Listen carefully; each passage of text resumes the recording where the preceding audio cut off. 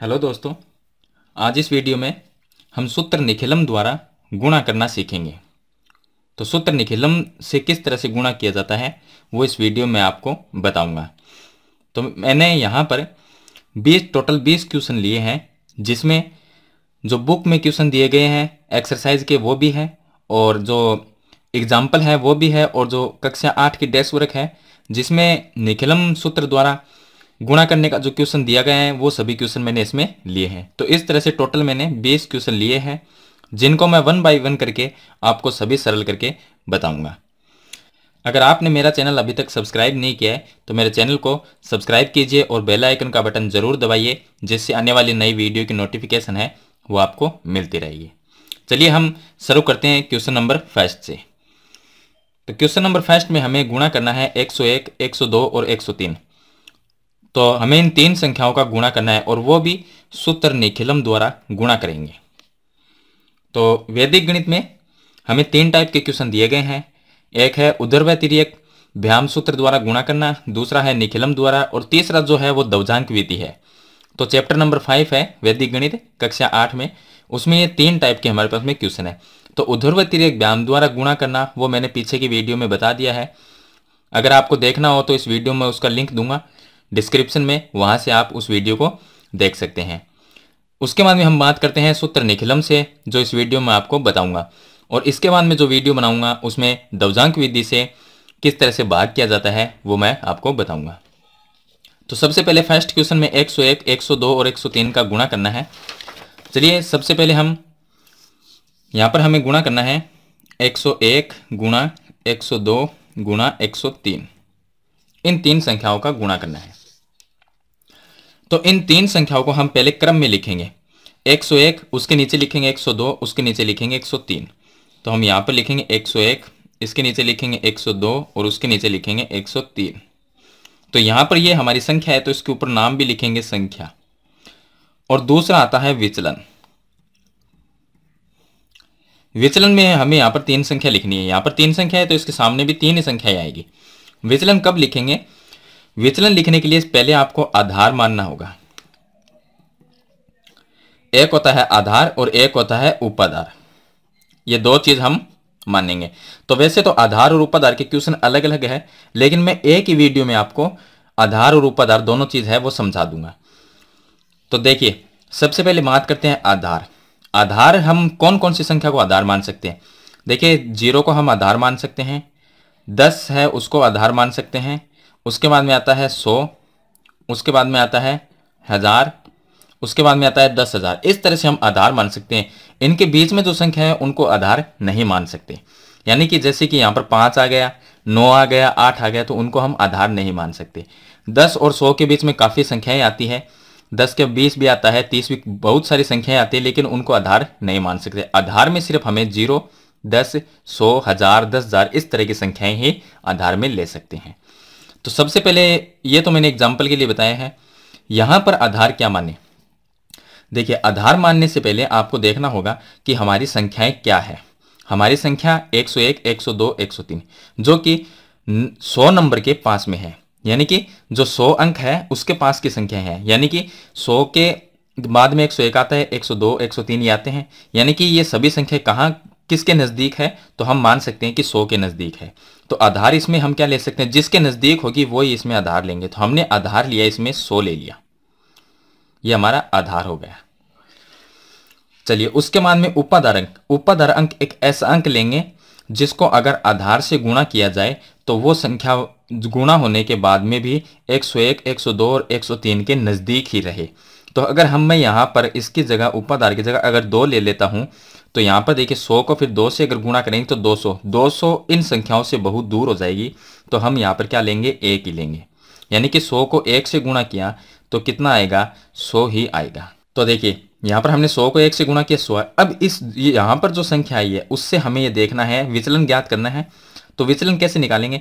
यहाँ पर क्या है? सौ है। तो सौ से ये कितना ज़्यादा है? ये एक ज़्यादा है। तो हम प्लस एक लिखेंगे। अगर कम होगा तो उसे माइनस एक लिखेंगे। यहाँ पर सौ से ये क्या ये संख्या कितनी बड़ी है? तो प्लस दो बड़ी है यानी कि दो ज़्यादा है। सौ से ये संख्या कितनी ज़्यादा है? तो तीन ज़्यादा है तो प्लस तीन लिखेंगे। ज़्यादा होगी तो प्लस का चिन्ह अगर कम होती है तो माइनस का चिन्ह लगाना इस तरह से हम आधार उपाधार इन सभी को लिखेंगे। उसके बाद में विचलन ज्ञात करेंगे। अब इसका तरीका यह है कि हमारे पास में 101, 102, 103 इन तीनों संख्याओं में से एक ही संख्या लेनी है चाहे वो कौन सी भी संख्या हम ले सकते हैं। तो चलिए सबसे पहले हम ऊपर की संख्या ले लेते हैं 101 101 अगर लेंगे तो इसके जो सामने संख्या एक है, उसको इसके अंदर नहीं जोड़ना। उसके अलावा दो और तीन जो रह गया, उनको हम जोड़ेंगे। तो ये प्लस दो है और ये प्लस तीन है, इनको हम जोड़ देंगे। ध्यान रखना है, जो भी संख्या लेंगे, उसके सामने वाली संख्या नहीं जोड़नी है, बाकी जो संख्या रह जाती है, वही संख्या जोड़नी है। जैसे हमने 101 लिया, उसके सामने एक आता है तो वो तो इसमें नहीं जोड़ेंगे, उसके अलावा दो और तीन, ये दोनों इसमें जोड़ देंगे। उसके बाद में स्लेस का चिन्ह लगाएँगे, और उसके, देखिए, यहाँ पर जो हमने संख्या लिखी है, यहाँ पर हमें उपाधार अंक भी लिखना पड़ता है, यानी कि पहली संख्या होती है, उसके उपाधार अंक कितना है, यहाँ पर एक। तो यहाँ पर हम एक लिखेंगे, और उसका स्क्वायर लगाएँगे। फिर यहाँ पर भी हम क्या लिखेंगे? उपाधार अंक एक है तो यहाँ पर हम एक लिखेंगे, उसका स्क्वायर नहीं लगाना। यहाँ पर स्क्वायर लगेगा, यहाँ पर सिर्फ़ उपाधार अंक ही लिखा जाएगा। उसके बाद में ब्रेकेट लगाएँगे। फिर हम क्या करेंगे? जो विचलन हमारा है, एक, दो, तीन, इनको हम बारी बारी गुणा करेंगे। बारी बारी कैसे करना है कि एक को हमने दो से गुणा किया। दोनों ही प्लस की संख्या है तो एक को हमने दो से गुणा किया, कितना आएगा दो। फिर हम लगाएँगे प्लस का चिन्ह। फिर हम दो को तीन से गुणा करेंगे, दो को तीन से गुणा किया तो छः आ गया, फिर प्लस का चिन्ह लगाएँगे, फिर इस तीन को और एक को गुणा करेंगे तो कितना आएगा तीन। इस तरह से हम बारी बारी इसको गुणा करेंगे। उसके बाद में फिर स्लेस का चिन्ह लगाएँगे। याद रखना है कि यहाँ पर अगर तीन संख्या हो तो इस तरह से कॉलम भी यहाँ पर तीन ही बनेंगे। उसके बाद में लास्ट में क्या आएगा? विचलन जो है इनका गुणा। यहाँ पर हमने विचलन का बारी बारी गुणा किया था, लेकिन यहाँ पर हमें क्या करना है? कंटिन्यू गुणा करना है। यानी कि एक को दो से गुणा किया दो दो को तीन से गुणा किया छः तो यहाँ पर हम लिखेंगे छः इस तरह से हमें संख्या लिखनी है। अब देखिए, एक का स्क्वायर एक ही होता है तो एक लिख देंगे। गुणा का चिन्ह लगाएँगे। 101 और तीन और दो ये हो गए पाँच तो टोटल 106 हो गए। यहाँ पर लिखेंगे 106 उसके बाद में ये दो और छः आठ और तीन ग्यारह ग्यारह को एक से गुणा किया तो कितने आएँगे? ग्यारह ही आएँगे और लास्ट में लिख देंगे छः। यहाँ पर देखिए, इनको गुणा किया तो 106 ही आएगा।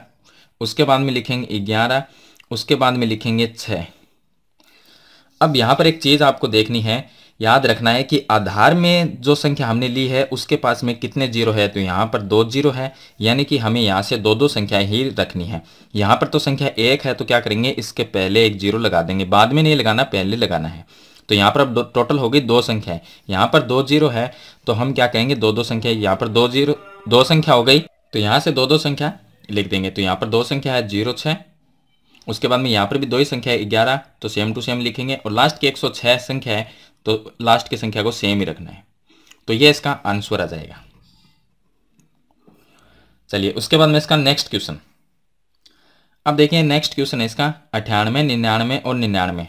तो हम क्या लिखेंगे? पहले क्रम वाई संख्या को एक अठानवे लिखेंगे, उसके नीचे निन्यानवे, फिर उसके नीचे लिखेंगे निन्यानवे। तो यहाँ पर हम लिखेंगे, पहले तो लिखेंगे संख्या। संख्या हमारी है अठानवे, उसके नीचे लिखेंगे निन्यानवे, उसके नीचे लिखेंगे निन्यानवे। फिर लिया जाता है विचलन। तो विचलन से पहले हम मानेंगे आधार। अब इसमें देखिए, इसमें तीनों ही जो संख्या है, वो क्या है? सौ के पास की संख्या है। यानी कि आधार हम सौ ले सकते हैं, क्योंकि अठानवे, निन्यानवे निन्यानवे, ये एकदम सौ के एकदम नज़दीक की संख्या है। तो हम इसमें आधार लेंगे, वो लेंगे सौ। और इसमें उपाधार अंक है, वो हम लेंगे, अगर एक लेंगे अगर दो ले लेते हैं तो 200 ज़्यादा दूर चली जाती है, इनसे एक ही लेंगे। क्योंकि 100 को एक से गुणा किया तो कितना आया? 100 अब हमें, देखिए, वैसे ये जो क्वेश्चन मैं आपको बता रहा हूँ, सभी तो नहीं है, लेकिन क्वेश्चन नंबर एक और क्वेश्चन नंबर दो, जहाँ पर उपाधार एक लिया जाता है, इसका मतलब है वो बिना उपाधार के क्वेश्चन है। सिर्फ़ सिर्फ़ उसमें हमें आधार ही मानना है। लेकिन मैंने बताया कि इस वीडियो में आपको दोनों तरीके बता दूँगा। इसी में बता दूँगा कि उपाधार किस तरह से लिया जाता है और आधार किस तरह से लिया जाता है। तो यहाँ पर आ गया हमारे पास में सौ। सौ से ये कितना कम है तो हम लिखेंगे माइनस दो कम है। ये कितना कम है, माइनस एक कम है। ये कितना कम है, माइनस एक कम है। उसके बाद में इसके नीचे एक लाइन खींचेंगे। फिर हम कोई भी एक संख्या लेंगे। तीनों में से कोई भी एक संख्या ले लेंगे। चलिए ऊपर वाले अठानवे लिखते हैं। अठानवे। तो उसके सामने वाली संख्या माइनस में है, उसको तो ना जोड़ना, ना हमें माइनस करना। तो क्या करेंगे? फिर दो संख्या ये रह गई। तो ये माइनस एक, ये माइनस एक। तो यहाँ पर भी माइनस एक लिख देंगे और यहाँ पर भी माइनस एक। इस तरह से लिखेंगे। और यहाँ पर इसके पास में उपाधार अंक का स्क्वायर लगाएँगे। तो उपाधार अंक एक है तो यहाँ पर एक का स्क्वायर लिख सकते हैं। लिखे या ना लिखे, उससे कोई फ़र्क नहीं पड़ता, क्योंकि ये जो क्वेश्चन है, वो बिना उपाधार अंक के हैं। लेकिन मैंने आपको साथ में इसके बता दिया है कि उपाधार अंक है, वो किस तरह से लिया जाता है। उसके बाद में देखिए स्लेस का चिन्ह लगाएँगे। फिर क्या करेंगे, इन संख्याओं को बारी बारी गुणा करेंगे। दो को, पहले देखिए, दो को एक से गुणा किया, कितना आया? दो आया। तो हम यहाँ पर लिखेंगे दो। लेकिन ये भी माइनस और ये भी माइनस तो यह क्या हो गया? प्लस का दो हो गया। चलिए, उसके बाद में एक को एक से गुणा करेंगे, लेकिन दोनों चिन्ह माइनस के हैं तो दोनों चिन्ह भी गुणा होते क्या बनेगा? प्लस बन जाएगा, और एक को एक से गुणा किया तो एक आ गया। फिर इस दो को इस एक के साथ में गुणा करेंगे तो दोनों ही माइनस के हैं, दोनों ही माइनस के हैं तो चिन्ह हो जाएगा प्लस का, और दो को एक से गुणा किया तो ये आ जाएँगे दो। उसके बाद में यहाँ पर उपदार अंक है, वो लिखना है। यहाँ पर स्क्वायर लगाना उपदार अंक का, यहाँ पर सिर्फ़ उपदार अंक लिखना है, और लास्ट के कॉलम में सिर्फ़ हमें इनका कंटिन्यू गुणा करना है। देखिए, अगर माइनस का चिन्ह तीन बार गुणा होता है तो माइनस ही उत्तर आएगा। ध्यान रखना है, माइनस का चिन्ह जब भी सम संख्या में अगर गुणा होता है, जैसे दो बार, चार बार, छह बार, आठ बार तो हमेशा उत्तर आता है, वो प्लस में आता है। अगर हम कोई भी संख्या होती है, उसमें अगर माइनस के चिन्ह एक बार या तीन बार या पाँच बार या सात बार अगर गुणा होकर आते हैं तो उत्तर माइनस में ही आएगा। यहाँ पर माइनस के चिन्ह तीन है, क्योंकि हमें तीनों संख्याओं को कंटिन्यू गुणा करना है तो माइनस के चिन्ह तीन है। तो उत्तर क्या होगा? माइनस में। दो को एक से गुणा किया, दो आया, फिर उस दो को एक से गुणा किया तो दो आया। यहाँ पर लिख देंगे हम दो। चलिए, उसके बाद में यहाँ पर एक का स्क्वायर एक ही होता है, लिखे या ना लिखे कोई फ़र्क नहीं पड़ता। अठानवे में से एक को माइनस किया सितानवे फिर इस एक को माइनस किया तो रह जाएँगे छियानवे। उसके बाद में देखिए, दो और दो चार और एक ही हो गए पाँच पाँच को एक से गुणा करेंगे तो आएगा यहाँ पर पाँच। और लास्ट वाला रह गया माइनस में दो। ये रह जाएगा। अब यहाँ पर देखिए, हमें रखनी है दो दो संख्या लेकिन यहाँ पर जब माइनस आ जाए तो हमें एक चीज़ का ध्यान रखना है कि माइनस में आए तो इसको प्लस बनाना है। प्लस कैसे बनाएँगे? छियानवे का छियानवे लिखेंगे। और यहाँ पर जो संख्या होती है, उसमें से एक को कम करना है। एक कम करना है तो यहाँ पर रह जाएगा चार। ये रह जाएगा। उसके बाद में, यहाँ पर जो संख्या है, उसको आधार कितना माना है, उसमें से माइनस करना है। तो यहाँ पर आधार हमने सौ लिया है तो इस दो को क्या करेंगे? सौ में से माइनस करेंगे। सौ माइनस दो। यहाँ पर तो सौ माइनस इस दो को सौ में से माइनस करेंगे, लेकिन उसके जो पाँच में संख्या होगी, उसमें से एक कम करना है। तो यहाँ पर पाँच है तो हमने क्या किया? चार कर दिया। अब देखिए, ये हो गया छियानवे, और यहाँ पर चार, और यहाँ पर सौ माइनस दो करेंगे तो अठानवे। अब हमें दो दो संख्या रखनी है आधार में दो ज़ीरो है इसलिए दो संख्या यहाँ पर तो दो है लेकिन यहाँ पर दो संख्या नहीं है तो इसके पहले एक ज़ीरो लगाएँगे। अब सेम टू सेम यहाँ पर भी दो संख्या है अठानवे यहाँ पर दो संख्या है ज़ीरो चार और यहाँ पर दो संख्या है छियानवे। तो इस तरह से ये आ जाएगा इसका आंसर। तो ये हो गया इसका क्वेश्चन नंबर दो। चलिए इसके बाद में शुरू करते हैं क्वेश्चन नंबर थ्री। अब देखिए इसका क्वेश्चन नंबर थ्री जिसमें हमें 31, 28 और 27 को गुणा करना है निखिलम सूत्र द्वारा। तो 31, 28 और 27 तीन संख्या है। इन तीनों को हम लिखेंगे जैसे कि हमने पीछे के क्वेश्चन में किया था। तो यहाँ पर हम पहले लिखेंगे संख्या। संख्या में हमारे पास में है 31 उसके बाद में लिखेंगे 28 उसके बाद में लिखेंगे 27 तीन संख्या हमने लिख ली। अब यहाँ पर लिखना है विचलन। विचलन से पहले हम आधार लेंगे। तो इसका आधार हम मानेंगे, देखिए, मैंने बताया कि आधार ज़ीरो, दस, सौ इस तरह से ले सकते हैं। यहाँ पर आधार अगर हम ज़ीरो लें तो काफ़ी छोटा है। आधार अगर दस लें तो इससे दूर रह जाता है। आधार अगर सौ लें तो बहुत दूर हो जाता है। तो इसलिए हम आधार को क्या लेंगे? दस ही लेंगे। आधार हमने दस लिया। अब यहाँ पर हम मानेंगे उपाधार अंक। क्योंकि ये सभी संख्याएँ, कौन सी संख्या के पास में है? तीस संख्या, तीस नंबर के पास में है। तो यहाँ से अगर हमारे पास में तीस आए इसी तो उनके ये पास में हो जाते हैं, क्योंकि तीस के पास में इकतीस है, उसके ही पास में अट्ठाईस है और उसके पास में सत्ताईस है। तो हमें यहाँ पर टोटल संख्या को तीस बनाना होगा। आधार हमने दस लिया तो दस को हम तीन से गुणा करते हैं तो क्या आ जाएगा? तीस आ जाएगा। हमें तो यह देखना है सिर्फ़ कि जो हमारी संख्या है, वो कौन सी संख्या ये पास में तो वो संख्या हमें लेकर आनी है। उपाधार अंक तीन हो गया, आधार दस हो गया और यहाँ पर आ गया हमारे पास में तीस। अब हमें देखना है कि इस तीस से ये कितनी ज़्यादा है? ये प्लस एक ज़्यादा है, ये कितनी कम है? माइनस दो कम है, ये कितनी कम है? माइनस तीन कम है। इस तरह से हम लिखेंगे। उसके बाद में कोई भी एक संख्या लेंगे, इकतीस ले लेते हैं यहाँ से तो यहाँ पर ले लिया हमने इकतीस। उसके सामने वाली संख्या को उसमें नहीं जोड़ना है, बाकी दो दो संख्या रहेगी, दोनों माइनस में तो माइनस में लिखेंगे, माइनस दो और माइनस तीन लिखेंगे। यहाँ पर इसके पहले उपाधार अंक का स्क्वायर लगाएँगे तो उपाधार अंक यहाँ पर तीन है तो यहाँ पर लिखेंगे हम तीन का स्क्वायर उसके बाद में स्लेस का चिन्ह लगाएँगे, फिर यहाँ पर लिखना उपाधार अंक, और फिर ब्रेकेट लगाएँगे, फिर यहाँ पर बारी बारी संख्या को गुणा करेंगे। एक को दो से गुणा किया तो दो आया, लेकिन प्लस को माइनस से गुणा किया तो माइनस दो आया। उसके बाद में दो को तीन से गुणा करेंगे छः आएगा। माइनस को माइनस से गुणा करते हैं तो प्लस आएगा तो प्लस में छः आएगा। फिर तीन को एक से गुणा किया तो तीन आया, लेकिन प्लस को माइनस से गुणा किया तो माइनस तीन आया। इस तरह से हमें गुणा करना है। उसके बाद में स्लेस का चिन्ह लगाएँगे और तीनों संख्याओं को कंटिन्यू गुणा करेंगे। एक को दो से गुणा किया, दो। फिर दो को तीन से गुणा किया तो यहाँ पर आएगा छः। लेकिन ये चिन्ह देखना है। प्लस को माइनस से गुणा किया, माइनस, फिर माइनस को माइनस से गुणा किया तो ये प्लस हो जाएगा। तो प्लस लिखने की ज़रूरत नहीं है। अब देखिए, यहाँ पर हम तीन का स्क्वायर करेंगे तो ये आ जाएगा नौ। उसके बाद में गुणा में लिखना है, इकतीस में से दो को माइनस करेंगे तो उनतीस उनतीस में से तीन को माइनस करेंगे तो ये आ जाएँगे छब्बीस। फिर यहाँ पर तीन है तो यहाँ पर लिखना है तीन, इसके गुणा में लिखेंगे, देखिए तीन और दो ये पाँच हो गए छः में से पाँच को माइनस करेंगे तो एक रह जाएगा। यहाँ पर आता है छः तो अब हमें छब्बीस को नौ से गुणा करना है तो ये आएगा दो सौ चौंतीस। और यहाँ पर तीन को एक से गुणा किया तो तीन आ गया और यहाँ पर छः लिखेंगे। आधार में एक ज़ीरो है तो एक एक संख्या रखेंगे। यहाँ पर एक संख्या छः है छः लिख देंगे। यहाँ पर भी एक संख्या तीन है तीन लिख देंगे और लास्ट वाली सेम टू सेम लिख देंगे दो सौ चौंतीस। तो ये इसका आंसर आ जाएगा। अब देखिए इसके बाद में question number four question number four में हमें गुणा करना है निखिलम सूत्र से 21, 22 और 23 को। तो हम पहले संख्या लिखेंगे। संख्या हमारी है 21 उसके बाद में 22 उसके बाद में 23 फिर यहाँ पर विचलन लिखेंगे। विचलन से पहले हम आधार मानेंगे। तो इसका आधार लेते हैं हम। देखिए 21, 22 और 23 इसमें आधार हम 10 लेंगे और दूसरा लेंगे उपाधार उपाधार अंक लेंगे वो दो लेंगे क्योंकि 10 को दो से गुणा करेंगे तो कितने हो जाएँगे 20 20 है वो 21, 22 और 23 नंबर के पास की संख्या है। यानी कि जो नज़दीक संख्या होती है वो संख्या रखते हैं हम। तो यहाँ पर 20 से अब ये 21 है वो प्लस एक ज़्यादा है ये प्लस दो ज़्यादा है और ये प्लस तीन ज़्यादा है। ये हो गया विचलन। उसके बाद कोई भी एक संख्या लेंगे 21, 22, 23 इनमें से कोई भी एक संख्या ले सकते हैं। तो हम चलिए 21 ले लेते हैं।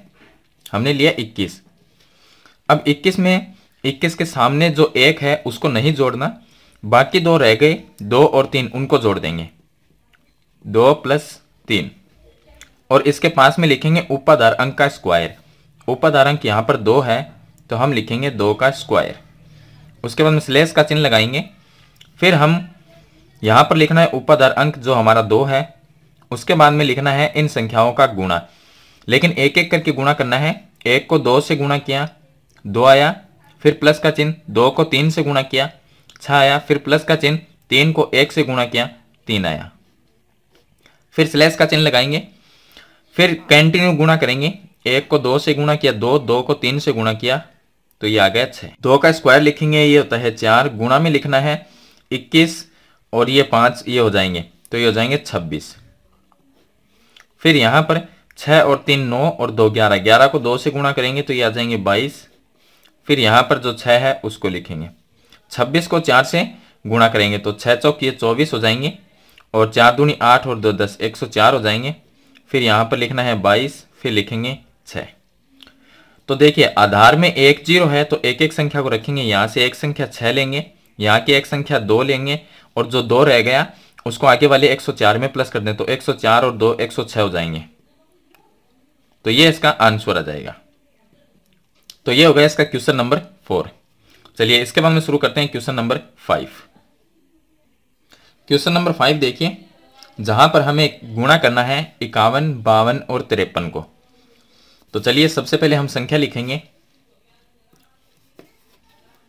तो हमारी संख्या हो गई इक्यावन, बावन और तिरपन। ये हमारी संख्या है। उसके बाद में हमें लिखना है विचलन। विचलन से पहले हम आधार मानेंगे। देखिए, इक्यावन, बावन और तिरपन। इसमें आधार हम क्या लेंगे? आधार इसमें लेंगे, हम दस लेंगे। सौ भी ले सकते हैं, लेकिन सौ से फिर ये संख्या क्या है कि हम एक से गुणा करेंगे तो सौ ज़्यादा चली जाएगी, इसलिए हम आधार क्या है, इसका दस ही लेंगे। और उपाधार अंक लेंगे, वो पाँच लेंगे। क्योंकि दस को अगर पाँच से गुणा किया किया जाए तो बन जाते हैं पचास। पचास से ये प्लस एक ज़्यादा है, ये प्लस में दो ज़्यादा है और ये प्लस में तीन ज़्यादा है।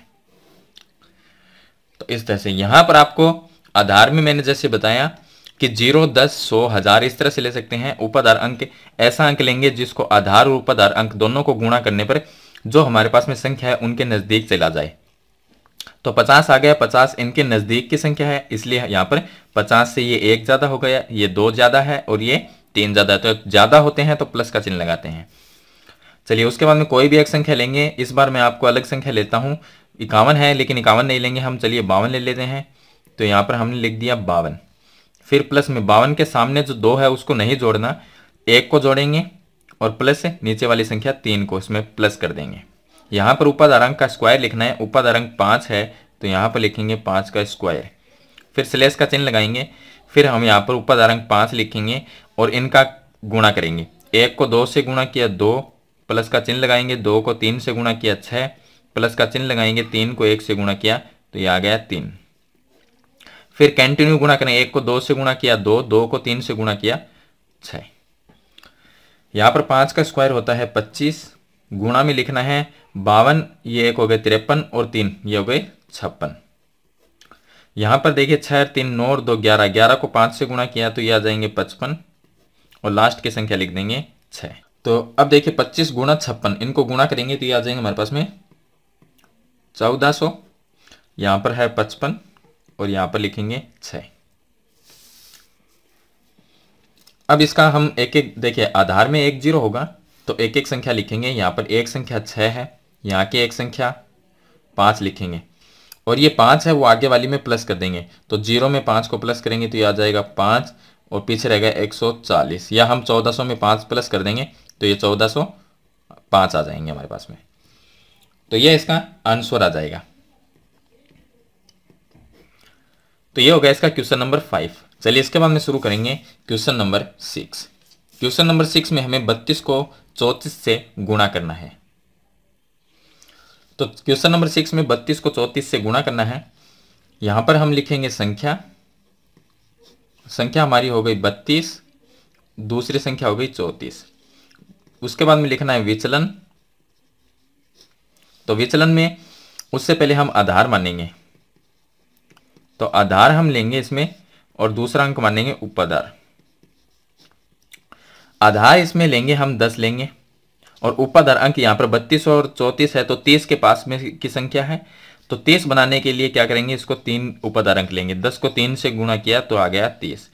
तीस से ये दो ज़्यादा है तो इसको प्लस दो लिखेंगे। ये चार ज़्यादा है तो इसको प्लस चार लिखेंगे। उसके बाद यहाँ पर कोई भी एक संख्या लेंगे, बत्तीस ले लेते हैं तो यहाँ पर लिखेंगे हम बत्तीस। उसमें बत्तीस में सामने वाले को प्लस नहीं करना, नीचे वाली संख्या प्लस में चार है, उसको हम प्लस कर देंगे। और यहाँ पर हमें लिखना है उपाधार अंक। अब देखिए, यहाँ पर स्क्वायर नहीं लगाना, क्योंकि हमारे पास में यहाँ पर संख्या दो ही है। तो तीन संख्या होती है, तब हम एक में स्क्वायर लगाते हैं और दूसरे में सिर्फ़ उपाधार अंक लिखते हैं और तीसरी ओनली संख्या होती है। तो यहाँ पर हमें दो, इसमें दो संख्या है तो दो ही कॉलम बनेंगे। तो पहले कॉलम में हमें सिर्फ़ उपाधार अंक लिखना है और दूसरे में इन दोनों का डायरेक्ट गुणा करना है। दो को चार से गुणा किया तो आठ आ गए। ये चीज़ आपको ध्यान रखनी है कि दो संख्याओं में और तीन संख्याओं में क्या फ़र्क है। तो यहाँ पर हम बत्तीस में चार को प्लस करेंगे तो ये हो जाएँगे छत्तीस और ये तीन है तो तीन गुणा छत्तीस हो जाएँगे।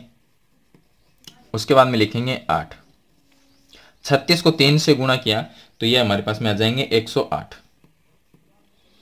और फिर यहाँ पर आ जाएगा आठ।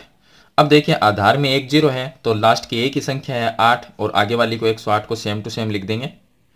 तो ये इसका आंसर आ जाएगा। उसके बाद में क्वेश्चन नंबर सात।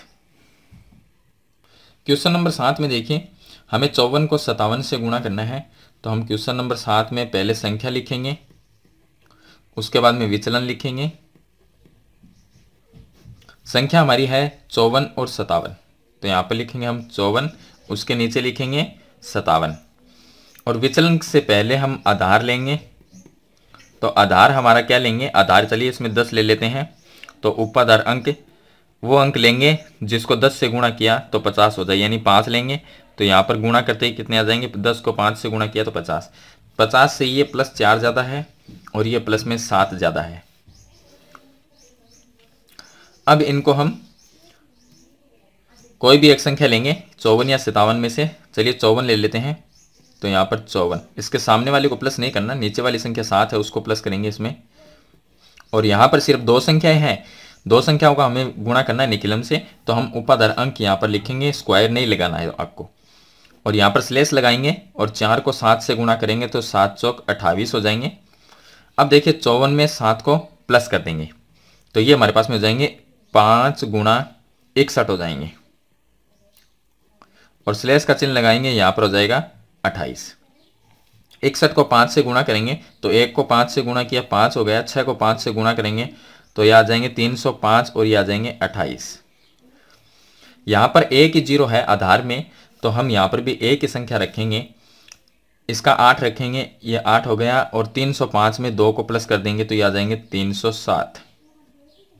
तो ये आ जाएगा इसका आंसर आ जाएगा तीन हज़ार अठहत्तर। तो ये इसका आंसर हो जाएगा। चलिए उसके बाद में शुरू करेंगे क्वेश्चन नंबर एट, जिसमें हमें अठहत्तर को छिहत्तर से गुणा करना है। तो क्वेश्चन नंबर आठ में पहले हमें लिखनी है संख्या, उसके बाद में हम लिखेंगे विचलन। तो संख्या हमारी है अठहत्तर और छिहत्तर। तो यहाँ पर पहले लिखेंगे अठहत्तर, उसके नीचे लिखेंगे छिहत्तर। और विचलन से पहले हम आधार लेंगे। आधार हम यहाँ पर ले लेंगे, दस ले लेंगे। और ऊपर दर जो अंक है वो सात ले लेंगे।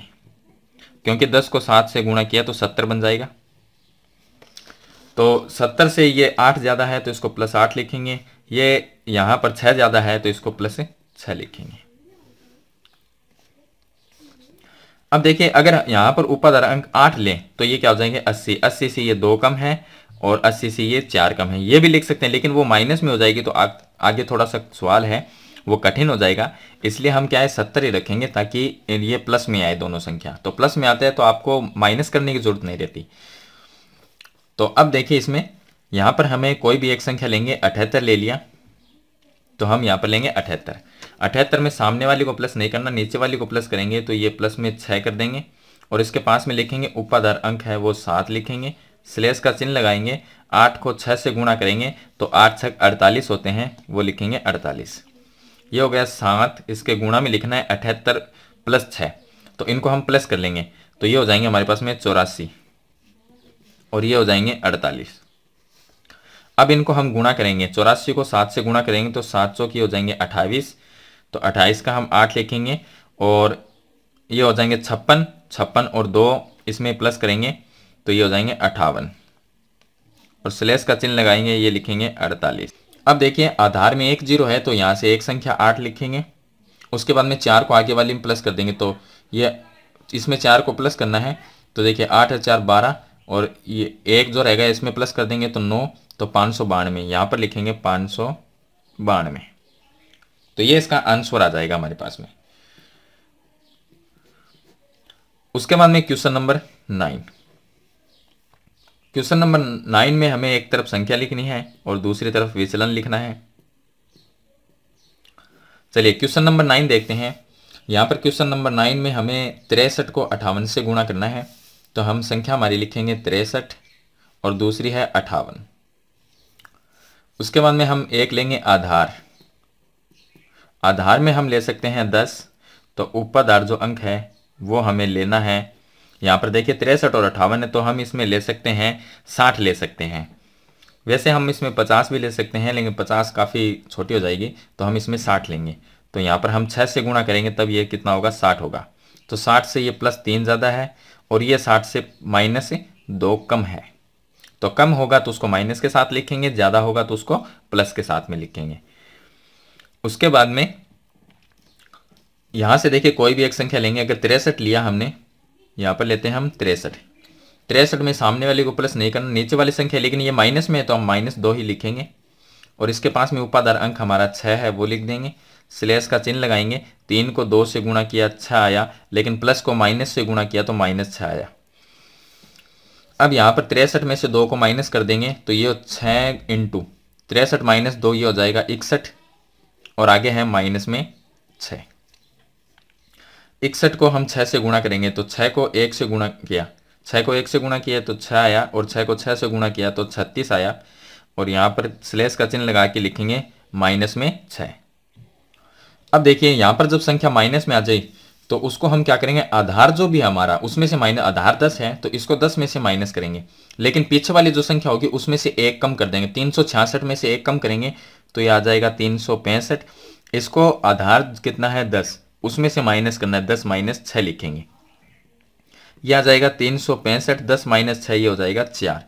अब आधार में एक ज़ीरो है तो एक एक संख्या, यहाँ से एक ही संख्या चार है, और बाकी लास्ट की संख्या उसको सेम टू सेम लिखेंगे, तीन सौ पैंसठ। तो ये आ जाएगा इसका छत्तीस चौवन, यानी तीन हज़ार छः सौ चौवन इसका आंसर आ जाएगा। तो ये था इसका क्वेश्चन नंबर नाइन। चलिए, इसके बाद में हम शुरू करेंगे question number ten. Question number दस देखिए। यहाँ पर क्वेश्चन नंबर दस में हमें बारह, तेरह और सत्रह को गुणा करना है। तो हमारी संख्या हो गई, यहाँ पर संख्या ही नीचे लिखेंगे, बारह, उसके बाद में तेरह, उसके बाद में सत्रह। ये तीन संख्या हो गई। विचलन लिखने से पहले आधार लेंगे तो आधार इसमें दस लिख सकते हैं। उपाधार अंक, ज़्यादा हमें ज़रूरत नहीं उपाधार अंक एक लिख सकते हैं। क्योंकि दस को एक से गुणा किया तो दस, देखिए, बारह, तेरह और सत्रह दस के नज़दीक की संख्या है। वैसे हम बीस भी ले सकते हैं, अगर यहाँ पर दो लिखें तो बीस आ जाएगा। बीस से ये आठ कम हो जाएगा, ये सात कम हो जाएगा, ये तीन कम हो जाएगा, इस तरह से भी लिख सकते हैं। तो अब देखिए, यहाँ पर हमने दस ले लिया। दस से ये प्लस दो ज़्यादा है, ये प्लस में तीन ज़्यादा है और ये प्लस में सात ज़्यादा है। अब इसमें से कोई भी एक संख्या लेंगे, चलिए बारह ले लेते हैं। तो बारह में सामने वाले को प्लस नहीं करना, तीन और सात को प्लस करना है। तो प्लस तीन और प्लस सात लिखेंगे। अब देखिए, हमारी संख्या कितनी है? एक, दो और तीन संख्या है। तो हमें यहाँ पर उपाधार अंक जो भी है, उसका स्क्वायर लिखना होगा। तो हम लिखेंगे एक का स्क्वायर स्लेस का चिन्ह लगाएँगे, फिर उपाधार अंक एक लिखेंगे। क्योंकि तीन संख्या होती है तीन कॉलम बनते हैं। तो यहाँ पर उपाधार अंक लिख दिया। उसके बाद में ब्रेकेट लिखेंगे और फिर इन संख्याओं को कंटिन्यू गुणा नहीं करेंगे। एक एक संख्या करेंगे दो को तीन से गुणा किया तो छः आ गया। फिर प्लस का चिन्ह, तीन को सात से गुणा किया तो सात तीन इक्कीस। प्लस का चिन्ह लगाएँगे, फिर सात को दो से गुणा किया तो चौदह आ जाएगा। इस तरह से हमें लिखना है। फिर स्लेस का चिन्ह लगाएँगे। अब इन संख्याओं को कंटिन्यू गुणा करेंगे। दो को तीन से गुणा किया छः छः को सात से गुणा किया करेंगे तो ये आ जाएगा बयालीस। चलिए यहाँ पर एक का स्क्वायर का कोई मतलब नहीं है तो बारह में तीन को प्लस करेंगे पंद्रह पंद्रह और सात ये हो जाएँगे बाईस। उसके बाद में यहाँ पर भी एक का कोई मतलब नहीं है क्योंकि गुणा करेंगे तो वही संख्या आएगी इसलिए हम इनको प्लस करेंगे।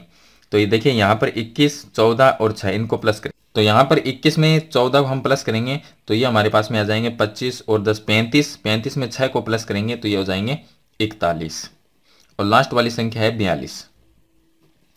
अब देखिए, आधार में एक ज़ीरो है तो एक संख्या यहाँ से दो रखेंगे। आगे वाले चार को एक में प्लस कर देंगे तो ये हो जाएगा पाँच। फिर इस चार को दो में प्लस कर देंगे तो ये हो जाएगा छह। और लास्ट वाला दो है, उसको यहाँ पर लिख देंगे। तो दो हज़ार छह सौ बावन। ये इसका आंसर आ जाएगा। तो ये था क्वेश्चन नंबर दस। चलिए इसके बाद शुरू करेंगे क्वेश्चन नंबर ग्यारह।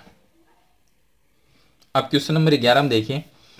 ग्यारह नंबर क्वेश्चन के अंदर हमें दिया गया है नौ, आठ और पंद्रह को गुणा करना। तो चलिए हमारी संख्या है नौ, आठ और पंद्रह। तो आधार हम क्या लेंगे? इसमें आधार हम दस ले सकते हैं, क्योंकि दस के नज़दीक ही है, नौ और आठ और पंद्रह। उपाधार अंक एक ले सकते हैं तो इसमें गुणा करेंगे तो दस ही आएगा। दस को, दस से नौ माइनस एक कम है। यहाँ पर ये संख्या है, वो माइनस में दो लिखेंगे, क्योंकि दस से दो कम है आठ। और ये कितना ज़्यादा है, दस से पाँच ज़्यादा है तो प्लस पाँच लिखेंगे। उसके बाद कोई भी एक संख्या लेंगे, चलिए यहाँ से नौ लिखते हैं तो हमने लिया नौ। नौ के सामने वाले को नहीं जोड़ना, इस संख्या को जोड़ेंगे, लेकिन ये माइनस में तो माइनस दो लिखेंगे, आगे वाली प्लस पाँच है तो प्लस पाँच लिखेंगे। और उसके पास में हम उपाधार अंक का स्क्वायर लगाएँगे। फिर स्लेस का चिन्ह लगाएँगे। फिर उसके बाद में एक को दो से गुणा किया तो यहाँ पर ब्रेक इससे पहले हम उपादान अंक लिखेंगे और ब्रैकेट में एक को दो से गुणा किया, दो आया। प्लस, माइनस को माइनस से गुणा किया तो प्लस का दो हो गया। फिर उसके बाद में माइनस को प्लस से गुणा करेंगे तो माइनस आएगा और दो को पाँच से गुणा किया तो दस आया। उसके बाद में प्लस पाँच को माइनस एक से गुणा करेंगे तो माइनस में पाँच आएगा। उसके बाद में लास्ट कॉलम में हमें इन संख्याओं का गुणा करना है। तो देखिए, एक को दो से गुणा किया दो दो को पाँच से गुणा किया तो दस। अब इसका चिन्ह देखना है, माइनस को माइनस से गुणा किया, प्लस हो गया, और प्लस को प्लस से गुणा किया तो ये प्लस हो गया। अब इसमें एक का स्क्वायर का कोई मतलब नहीं है तो हम नौ और पाँच, ये हो गए चौदह। चौदह में से दो को माइनस कर देंगे तो ये हो जाएगा हमारे पास में बारह। यहाँ पर लिखना है बारह। यहाँ पर एक का कोई मतलब नहीं है, गुणा करेंगे तो वही संख्या आएगी। तो यहाँ पर देखिए, माइनस दस और माइनस पाँच, माइनस में पंद्रह, माइनस में पंद्रह में से प्लस का दो बाहर निकाल देंगे तो ये रह जाएगा माइनस में तेरह। उसके बाद में लास्ट वाली संख्या है दस। अब इसमें यहाँ पर संख्या अगर माइनस में आ जाए तो उसको फिर माइनस करना पड़ेगा। अब देखिए, आधार क्या हमारा आधार तो है हमारा दस। तो दस में से अगर इसको माइनस करते हैं तो माइनस में होती नहीं है, क्योंकि दस माइनस तेरह करेंगे तो वही उत्तर माइनस तीन आएगा। तो इसलिए क्या करेंगे, इसको बीस में से माइनस करेंगे। इससे बड़ी संख्या या तो दस लें या फिर बीस लें। इस तरह से लेनी या तीस ले सकते हैं। तो यहाँ पर अगर हम बीस लेंगे तो बीस में यहाँ से अगर यहाँ से दस में से माइनस करते हैं तो आगे वाली संख्या में से एक को कम करना होता है। अगर बीस लेते हैं तो इसमें से दो को कम करना होता है। अगर तीस लेते हैं तो हमारे पास में इसमें से तीन को कम करना होता है। तो देखिए, यहाँ से इसको बीस में से माइनस करेंगे तो यहाँ पर से दो कम करेंगे। तो यहाँ बारह में से दो कम किए तो यहाँ पर आ जाएगा दस। और इसको बीस में से माइनस करेंगे तो बीस माइनस तेरह लिखेंगे। आगे वाली प्लस की संख्या है सेम टू सेम लिख देंगे। यहाँ से दस है, उसको दस लिखेंगे। बीस माइनस तेरह करेंगे तो यह आ जाएगा सात, और आगे वाला दस लिख देंगे। उसके बाद यहाँ पर एक एक देखिए, आधार में एक ज़ीरो है तो एक एक संख्या को रखेंगे। तो एक संख्या यहाँ से ज़ीरो रखेंगे।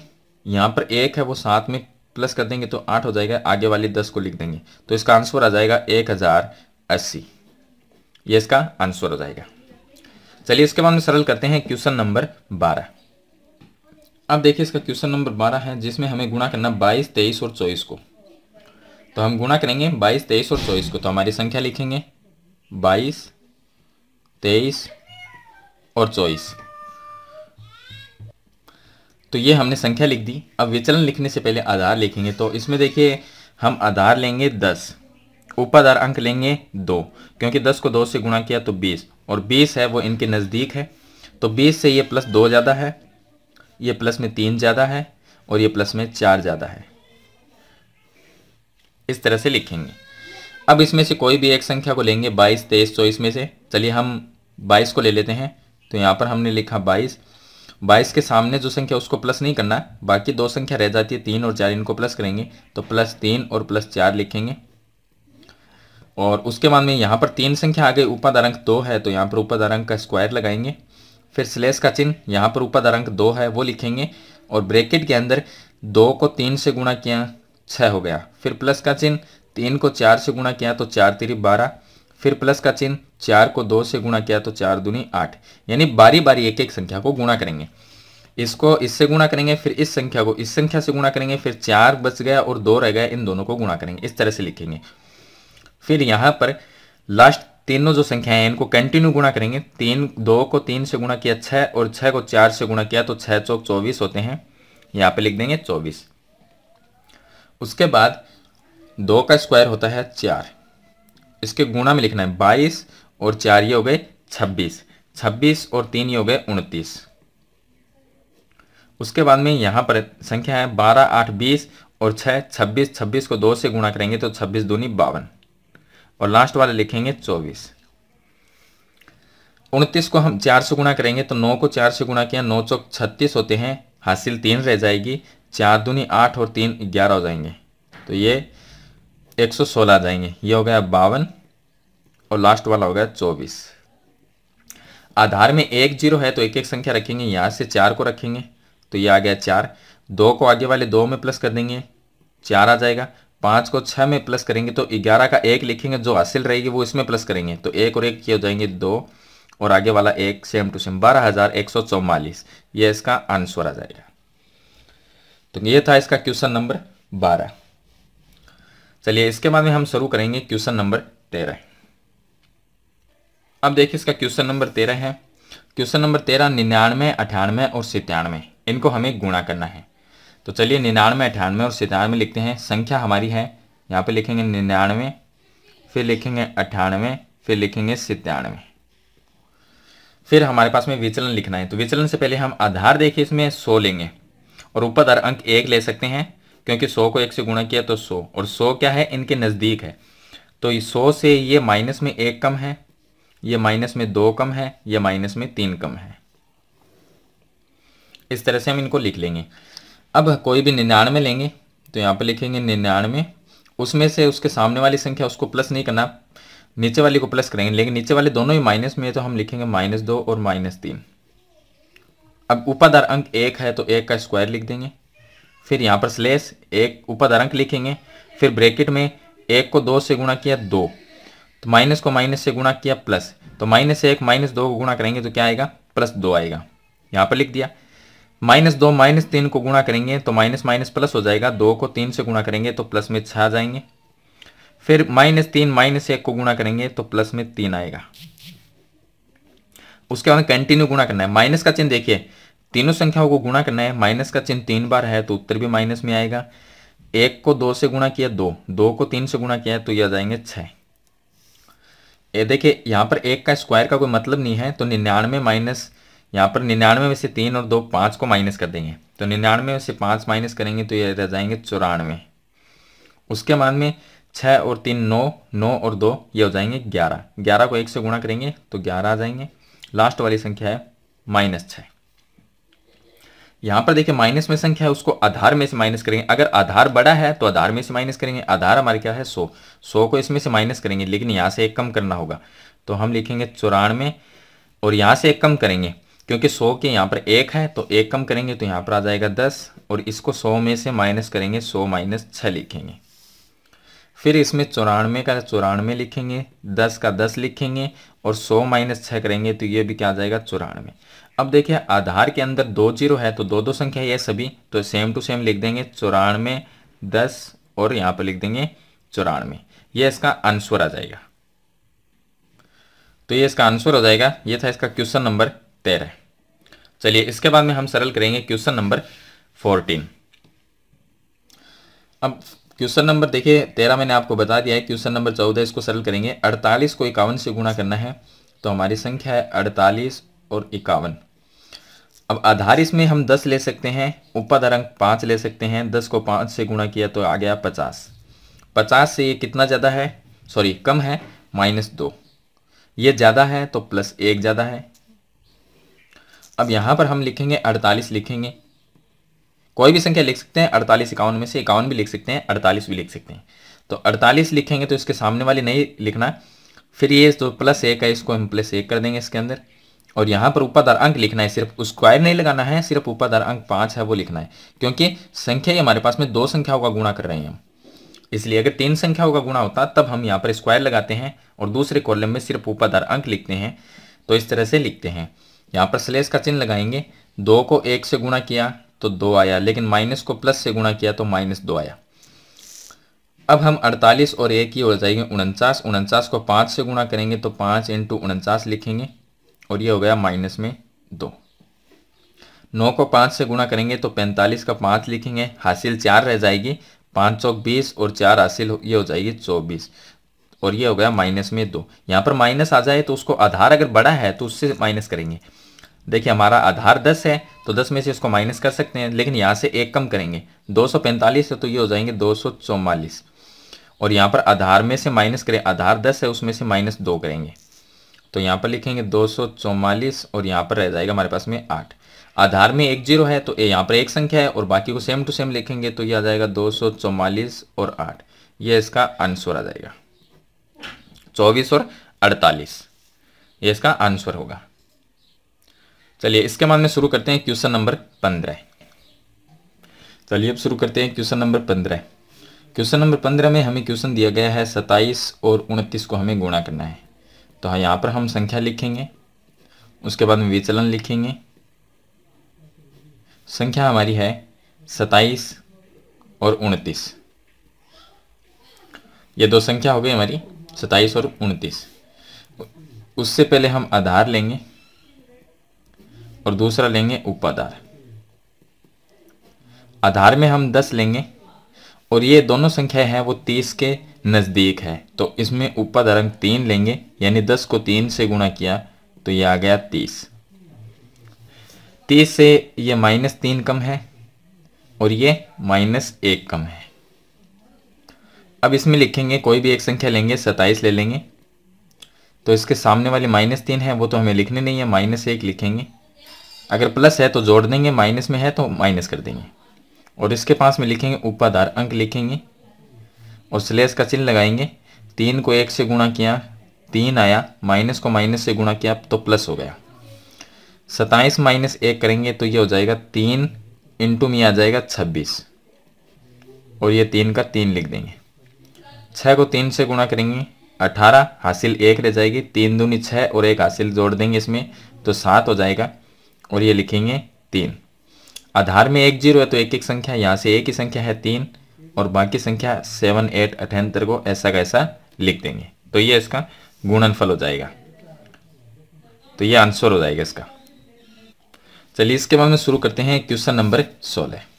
क्वेश्चन नंबर सोलह में हमें छत्तीस को और चौंतीस को गुणा करना है। तो हमारी संख्या हो गई छत्तीस और चौंतीस। तो संख्या लिखेंगे हम छत्तीस और यहाँ पर लिखेंगे चौंतीस। उसके बाद में लिखते हैं विचलन। तो विचलन में हम यहाँ पर पहले आधार लेंगे, आधार दस ले लेंगे और ऊपर धनांक तीन ले लेंगे। क्योंकि दोनों ही तीस नंबर के पास में है तो दस को तीन से गुणा करेंगे तो ये आ जाएगा तीस। तीस से ये प्लस में छः ज़्यादा है और ये प्लस में चार ज़्यादा है। उसके बाद में कोई भी एक संख्या लेंगे, छत्तीस ले लेंगे तो यहाँ पर लिखेंगे हम छत्तीस। उसके सामने वाली प्लस नहीं करनी है, नीचे वाली प्लस चार लिखेंगे और इसके पास में लिखेंगे उपाधार अंक है तीन, वो लिखेंगे। स्क्वायर नहीं लगाना है क्योंकि दो संख्या का गुणा कर रहे हैं। उसके बाद में स्लेस लगाएँगे, दूसरे कॉलम में छः को चार से गुणा करेंगे तो छः चौक चौबीस हो जाएँगे। छत्तीस में चार को प्लस करेंगे तो ये तीन गुणा में छत्तीस प्लस चार, ये हो जाएँगे चालीस और उसके बाद में लिखेंगे चौबीस। चालीस को तीन से गुणा करेंगे तो ये आ जाएँगे एक सौ बीस। और दूसरा लिखेंगे चौबीस। अब देखिए, आधार में एक ही ज़ीरो है तो यहाँ से एक संख्या चार लिखेंगे, दो को ज़ीरो में प्लस करेंगे तो दो आ जाएगा और बारह का बारह। एक हज़ार दो सौ चौबीस, ये इसका आंसर आ जाएगा। चलिए, इसके बाद में शुरू करते हैं क्वेश्चन नंबर सत्रह। अब इसमें देखिए, क्वेश्चन नंबर सत्रह है, जिसमें हमें गुणा करना है अठारह को इक्कीस से। तो हमारी संख्या हो गई अठारह, दूसरी संख्या हो गई इक्कीस दोनों ही बीस नंबर के पास में है तो आधार दस ले सकते हैं। ऊपर अंक दो लेंगे, दस को दो से गुणा किया तो कितने आएँगे? बीस। बीस से ये माइनस दो कम है और ये प्लस एक ज़्यादा है। अठारह लेंगे तो उसके सामने वाली को प्लस नहीं करना। नीचे वाली एक है, उसको प्लस कर देंगे। और इसके पास में लिखेंगे उपाधार अंक दो है, वो लिखेंगे दो। स्लेस का चिन्ह लगाएँगे, दो को एक से गुणा किया तो दो आया, माइनस को प्लस से गुणा किया तो माइनस आया। अठारह और एक के हो जाएँगे उन्नीस। तो ये दो इंटू उन्नीस हो जाएँगे और यहाँ पर आ जाएगा माइनस में दो। उन्नीस को दो से गुणा करेंगे तो ये आ जाएँगे अड़तीस और ये हो जाएगा माइनस दो। तो माइनस दो को हम आधार में से माइनस करें। आधार अगर बड़ा है तो इसको माइनस कर देंगे। तो इसमें से एक कम करेंगे। तो ये हो जाएगा सैंतीस और ये आधार हमारा दस है, उसमें से माइनस कर देंगे माइनस दो को। चलिए, उसके बाद में देखिए। यहाँ पर आ गया ये सैंतीस। और यहाँ पर रह जाएगा आठ। आधार में एक ज़ीरो है तो यहाँ पर एक संख्या आठ है और आगे वाली को सेम टू सेम तो पूरा को पूरा ऐसा ही लिख देंगे सेम टू सेम तीन सौ अठहत्तर। यह इसका आंसर आ जाएगा, तीन सौ अठहत्तर। चलिए, इसके बाद में शुरू करते हैं क्वेश्चन नंबर अठारह। अब देखिए क्वेश्चन नंबर अठारह है, जिसमें हमें गुणा करना है छियानवे, सत्तानवे और पिचानवे को। तो हम संख्या लिखेंगे, यहाँ पर पहली संख्या है छियानवे दूसरी लिखेंगे सत्तानवे और तीसरी लिखेंगे पिचानवे। ये हमारी संख्या है। इसमें हम आधार लेंगे तो आधार इसमें सौ ले सकते हैं और ऊपर अंक ए ले, एक ले सकते हैं क्योंकि सौ को एक से गुणा करेंगे तो सौ ही आएँगे और सौ इनके नज़दीक है। तो सौ से ये कम है माइनस चार। ये माइनस में तीन कम है और ये माइनस में पाँच कम है। उसके बाद में कोई भी एक संख्या लेंगे छियानवे ले लेते हैं। यहाँ पर लिखेंगे छियानवे। उसके सामने वाली नहीं लिखेंगे। नीचे वाली संख्या माइनस में है तो माइनस तीन और दूसरी है माइनस पाँच। अब तीन संख्याओं का गुणा कर रहे हैं तो उपाधार अंक का यहाँ पर स्क्वायर लगाएँगे। स्लेस का चिन्ह लगाएँगे। यहाँ पर उपाधार अंक एक लिखेंगे और ब्रैकेट में इन संख्याओं को गुणा करना। चार को तीन से गुणा करेंगे तो ये आ जाएँगे बारह। माइनस को माइनस से गुणा किया तो प्लस बारह आ जाएगा। फिर तीन को पाँच से तो यहाँ पर आ गए बारह। उसके बाद में तीन को पाँच से गुणा करेंगे तो दोनों ही संख्या माइनस की अगर गुणा होती है तो चिन्ह प्लस का हो जाता है। और तीन को पाँच से गुणा करेंगे तो ये आ जाएँगे पंद्रह। उसके बाद में पाँच को चार से गुणा करेंगे तो बीस आएँगे, दोनों ही माइनस के तो प्लस में बीस आ जाएँगे। उसके बाद स्लेस का चिन्ह, तीनों संख्याओं को कंटिन्यू गुणा करना है तो चिन्ह भी तीन, चिन्ह है माइनस के तो उत्तर माइनस में आएगा। चार तिरी बारह हो जाएँगे, और बारह को पाँच से गुणा करेंगे तो साठ आ जाएँगे। अब यहाँ पर एक का स्क्वायर का कोई मतलब नहीं है तो छियानवे में से तीन को कम कर देंगे, या हम छियानवे में से पाँच को कम करेंगे तो इक्यानवे रह जाएँगे, और इक्यानवे में से तीन को हम कम करेंगे तो अट्ठासी रह जाएँगे। तो यहाँ पर लिखेंगे हम अट्ठासी, उसके बाद में ये सभी संख्याओं को प्लस कर देंगे, यहाँ पर एक से गुणा करेंगे तो वही संख्या आएगी। तो बारह और पंद्रह को प्लस करेंगे तो सत्ताईस हो जाएँगे सत्ताईस में बीस को प्लस करेंगे तो ये हो जाएँगे सैंतालीस। उसके बाद में ये माइनस में साठ लिखेंगे। अब देखिए यहाँ पर। ये माइनस में संख्या है तो इसको प्लस बनाना है तो अट्ठासी लिखेंगे। और इसको हम आधार हमारा सौ है तो सौ में से माइनस करना, लेकिन यहाँ से फिर एक कम करेंगे क्योंकि सौ में ये एक है, इसका मतलब सैंतालीस में से एक को कम करना तो ये आ जाएगा छियालीस। जिस संख्या को हम माइनस कर रहे हैं, जैसे यहाँ पर साठ माइनस तो उससे पहले की जो संख्या, उसमें से कम करना पड़ता है। तो यहाँ पर से एक कम किया तो छियालीस हो गए यहाँ इसको सौ में से माइनस करेंगे तो लिखेंगे सौ माइनस साठ लिख देंगे। यहाँ पर ये हो गया अट्ठासी ये हो गया यहाँ पर छियालीस और इसको माइनस करेंगे तो ये रह जाएँगे चालीस। अब देखिए, आधार में दो ज़ीरो है, यहाँ पर भी दो दो ही संख्याएँ हैं सभी तो इनको सेम टू सेम ऐसे कैसे लिख देंगे? तो ये आ जाएगा अट्ठासी उसके बाद में लिखेंगे छियालीस, उसके बाद में लिखेंगे चालीस तो यह इसका आंसर आ जाएगा। चलिए, इसके बाद शुरू करते हैं क्वेश्चन नंबर 19 अब देखिए, क्वेश्चन नंबर 19 में तीनों ही एक जैसी संख्याएँ हैं 18, 18 और 18 तो तीन बार 18 को हमें गुणा करना है। तो हमारी संख्या लिखेंगे हम 18 फिर दोबारा 18 और तीन नंबर की 18 तीन संख्याएँ हमने लिख ली। अब हम तीन संख्याओं में विचलन लिखेंगे लेकिन आधार क्या लेंगे? आधार हम इसका दस लेंगे। आधार हमने दस ले लिया क्योंकि बीस आधार ले नहीं सकते। आधार या तो हम ज़ीरो ले सकते हैं या दस ले सकते हैं या सौ ले सकते हैं। तो हम क्या करेंगे? उपाधार अंक ले सकते हैं। फिर दो ले लेंगे, क्योंकि दस को दो से गुणा किया तो बीस आ गया। बीस से ये माइनस दो कम है, सेम ही होगा, माइनस दो और यहाँ पर भी माइनस दो। उसके बाद में यहाँ से अठारह एक संख्या लेंगे। अठारह, उसमें से उसके सामने वाली को नहीं लिखना, नीचे वाली माइनस दो और फिर उसके नीचे वाली माइनस दो। उसके बाद में यहाँ पर उपाधार अंक है, उसका स्क्वायर लिखेंगे, क्योंकि तीन संख्या का गुणा हो रहा है। तो दो का स्क्वायर लिखेंगे स्लैश का चिन्ह लगाएँगे, यहाँ पर उपाधार अंक दो लिखेंगे। ब्रैकेट में इन संख्याओं को बारी बारी गुणा करना है। माइनस दो को माइनस दो से गुणा करेंगे तो प्लस में चार हो जाएँगे। फिर माइनस दो को माइनस दो से गुणा करेंगे प्लस में चार हो जाएँगे। फिर माइनस दो को ऊपर वाले माइनस दो से गुणा करेंगे तो प्लस में चार हो जाएँगे। फिर स्लैश का चिन्ह, अब कंटिन्यू गुणा करना है। माइनस के चिन्ह तीन है तो माइनस में उत्तर आएगा। दो को दो से गुणा किया, चार चार को दो से गुणा किया तो आठ। दो का स्क्वायर लिखेंगे, चार हो जाएगा। गुणा में ये दो और दो चार, अठारह में से चार को माइनस करेंगे तो ये आ जाएँगे चौदह। फिर स्लेस लगाएँगे, चार और चार आठ और चार बारह बारह को दो से गुणा करेंगे तो ये चौबीस आ जाएँगे। उसके बाद में लिखेंगे माइनस में आठ। फिर यहाँ पर चौदह को हम चार से गुणा करेंगे। चार को चार से गुणा किया तो सोलह। चार को एक से गुणा किया तो चार और एक हासिल इसमें प्लस कर देंगे तो पाँच। फिर उसके बाद में आएगा चौबीस। उसके बाद में आएगा माइनस में आठ। माइनस की संख्या को आधार में से माइनस करेंगे। आधार बड़ा है, हमारा दस है। इसको दस में से माइनस करेंगे, लेकिन चौबीस को फिर एक कम करना होगा। तो यहाँ पर छप्पन, फिर चौबीस को लिखेंगे तेईस, और ये आधार में से दस माइनस आठ करेंगे। तो यहाँ पर आ जाएगा छप्पन, ये आ जाएगा हमारे पास में तेईस, और दस माइनस आठ, ये रह जाएँगे दो। अब आधार हमारा, आधार में एक ज़ीरो है तो यहाँ से भी एक एक संख्या को लिखना है हमें।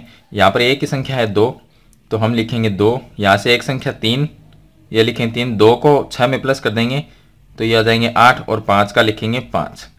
पाँच हज़ार आठ सौ बत्तीस, ये इसका आंसर आ जाएगा। चलिए इसके बाद में शुरू करते हैं क्वेश्चन नंबर बीस, जो इसका लास्ट क्वेश्चन है, क्वेश्चन नंबर बीस। इसमें तीन संख्या एक जैसी है निन्यानवे। तो तीनों ही संख्या एक जैसी हमारे पास में तो हम तीन संख्या लिखेंगे। संख्या हमारी हो जाए निन्यानवे, उसके बाद में लिखना है निन्यानवे, और उसके बाद में लिखना है निन्यानवे। विचलन से पहले आधार लेंगे तो सौ के नज़दीक है ये सभी तो आधार सौ ले सकती हैं। उपाधार अंक एक लेंगे, सौ को एक से गुणा किया तो सौ आ जाएगा। सौ से ये माइनस एक कम है, ये भी माइनस एक, और ये भी माइनस एक। फिर यहाँ पर कोई भी एक संख्या लेंगे, निन्यानवे, और उसके बाद में उसके सामने वाली को नहीं जोड़ना है, नीचे वाली दोनों में माइनस में है तो माइनस एक और माइनस एक लिखेंगे। और यहाँ पर उपाधार अंक एक है तो एक का स्क्वायर लिखेंगे।